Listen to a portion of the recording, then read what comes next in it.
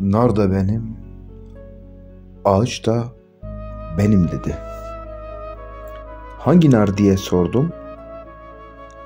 Beni yıllarca zindanlarda yakan ateş olan nar mı yoksa tadına doyulmaz olan ve benim uzun yıllardır demir parmaklıklar arasında tadını bile unuttuğum meyve olan nar mı?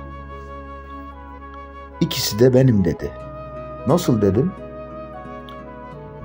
Bana bu dünyada öğrettiklerinle, zihninle ve ön yargılarınla gelme.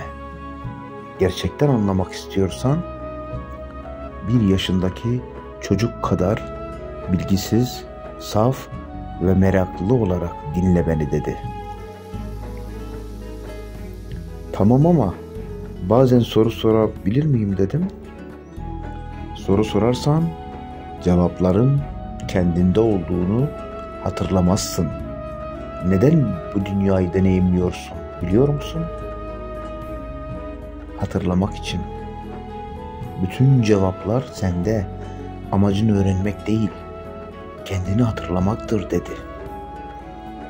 Neyi hatırlamam gerekiyor? Ne biliyorum ki diye düşünüp hiçbir şey söylemeden başımı öne eğerek sustum. Hatırla Ali. Kim olduğunu hatırla. Evrenin, atomun, maddenin, enerjinin, bitkilerin, hayvanların, kısacası gördüğün her şeyin ne olduğunu hatırla. Yaşadığın evrenin en küçük yapı taşı olan spinlerinizin aynı olduğunu, maddenin, enerjinin bir formu olduğunu, var olan enerjinin yok olmadığını, yoktan da enerji var edilmediğini hatırla. Sen o küçücük zihin kafesine sıkışmış zavallı bir varlık olmadığını, hatta Ali Demir bile olmadığını hatırla. Anlayamıyorum. Ben Ali değilsem o zaman bu bende konuşan, gözlerimde gören kim? Bu taşlar, bu ağaçlar, kuşlar, böcekler benimle aynı dokudan yaratıldıysa neden hatırlama görevi sadece bende ve öteki insanlarda? Soru yok demiştim Ali, soru yok. Hatırlayacaksın.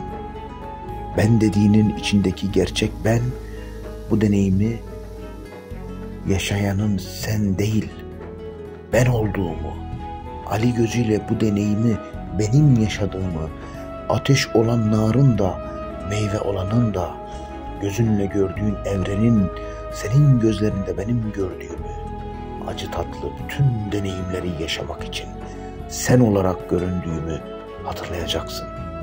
Hatırlamak için ise önce bütün bildiklerini unutacak, zihnini susturacaksın. Bütün bildiklerimi unutacaksam neden öğrendim peki?'' onlar yanlış ise neden benim yıllarca yanlışlıkla yaşamama, yanlışlarla yaşamama izin verdin? Benim mi dedin? Sen yoksun Ali. Sadece ben varım. Ben özüm. Bana Allah, Tanrı, Buda, Hade, evrensel bilinç, Tengri derler. Ben varım. Sen yoksun. Ali Demir Evrensel. Sen yoksun. Sadece ben varım ve ben olmaya devam ediyorum.